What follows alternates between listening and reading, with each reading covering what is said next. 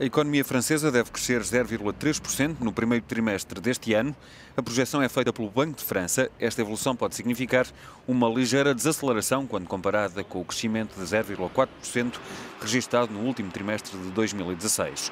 O Banco de França revelou ainda que o indicador de confiança empresarial para o setor industrial recuou para 101 pontos em janeiro, comparado com os 102 em dezembro. O indicador de clima de negócios para o setor dos serviços avançou para os 101 pontos em janeiro, o registro mais alto desde junho de 2011.